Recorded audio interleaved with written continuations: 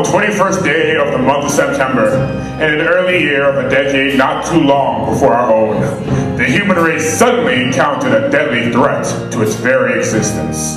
And this terrifying enemy surfaced, as such enemies often do, in the seemingly most innocent and unlikely of places.